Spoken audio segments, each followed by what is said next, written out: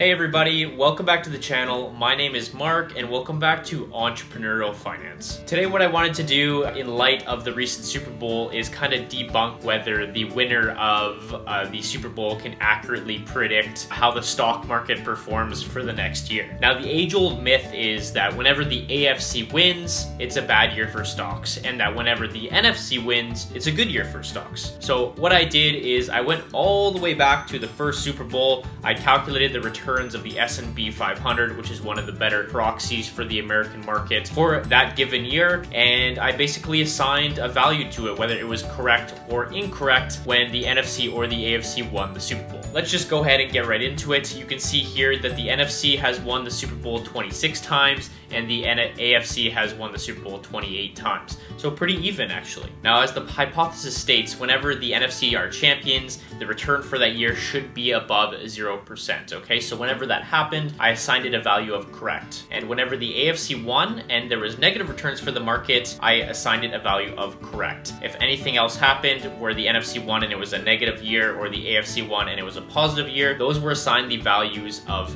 incorrect. If we look all the way back to the first Super Bowl, you can see that this predictor is actually correct 66% of the time. So basically, if the NFC wins, you have two-thirds odds that the stock market is positive this year. Or if the AFC wins, you have two-thirds odds that the stock market is negative this year. Given the volatility of the stock market, this is actually quite the accurate predictor. In my experience at least, there's not many things that tell you 66% of the time that the stock market is gonna go up. Now granted, this doesn't work 100% of the time, and I'm gonna get a little bit more into exactly what the returns look like when the NFC wins and what the returns look like when the AFC wins. So basically, on average, when the NFC wins, the market does about 10.5% that year.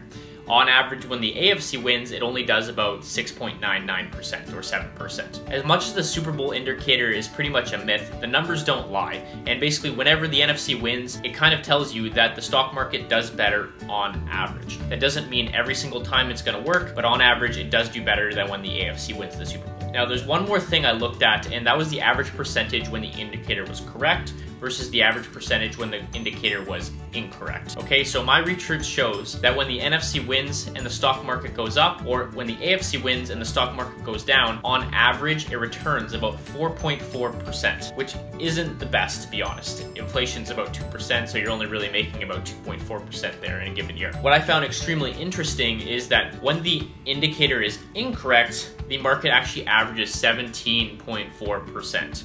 Okay, so what that means is if the NFC won and the stock market's down, or if the AFC won and the stock market's up, if you average out those years, it work out, works out to a net gain of about 17.4%, which is quite the anomaly. Now, given the indicators actually only has been incorrect about 33% of the time. Now, given these are all historical stats, this isn't necessarily a guaranteed fact, okay? So only 66% of the time is this correct. In my opinion, the Super Bowl indicator is pretty much a myth. You know, 66%, it's it's all, you're only 16% uh, away from a 50-50 chance. You really have no idea what the market's gonna do. It's not necessarily correlated with the market. Correlation doesn't necessarily equal causation, as all you statisticians out there know. I just wanted to point that out. That's pretty much it for this video. I hope you guys did enjoy. Let me know who you were cheering for in the Super Bowl. And given that the AFC won this year, does that mean the stock market's going to go down? Who knows?